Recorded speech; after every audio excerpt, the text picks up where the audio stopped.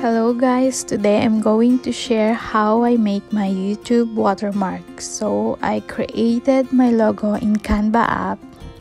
I'll put down the link below so if you want to download it.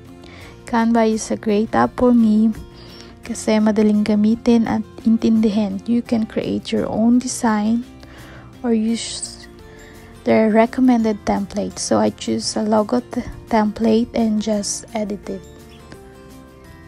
Uh, and then I choose this one. You can explore the app. You just check it out.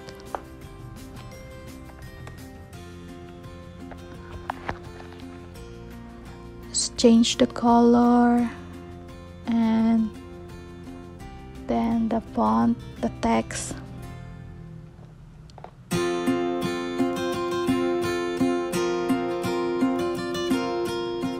I just use the pre pre template meron din sila yung pang pro pero yun nga may bayad. So wala akong pambili.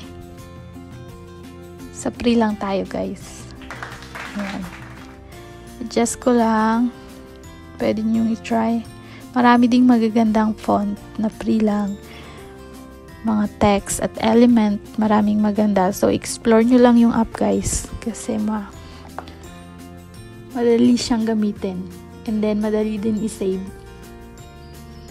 I-save sa inyong camera roll.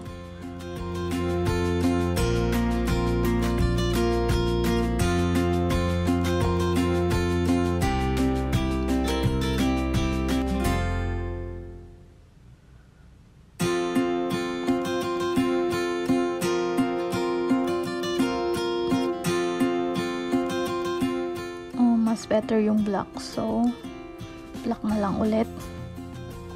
Then, isi-save ko siya. PNG file. Kasi recommended ng YouTube yung PNG file.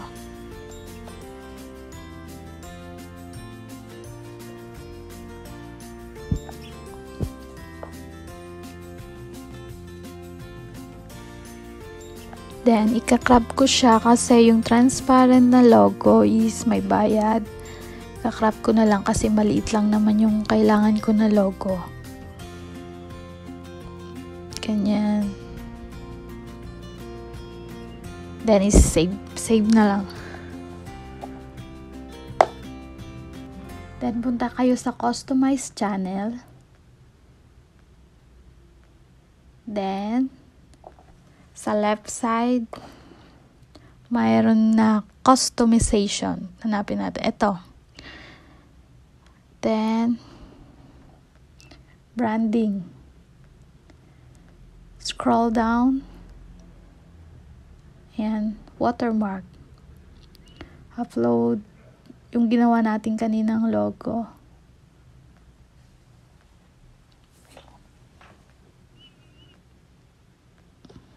Ayan guys, pwede nyo din i-crop yung logo nyo pag malaki yung size. So, akin na-crop ko na kanina, so no need.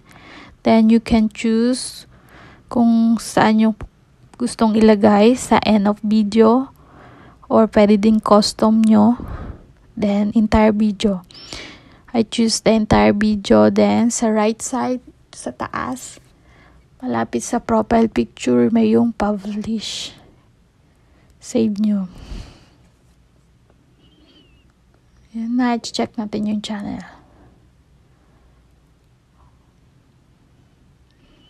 Yan na guys, lumabas na. So, madali lang siyang gawin. Mm, pag nagustuhan nyo tong video, just like and subscribe. Thank you for watching.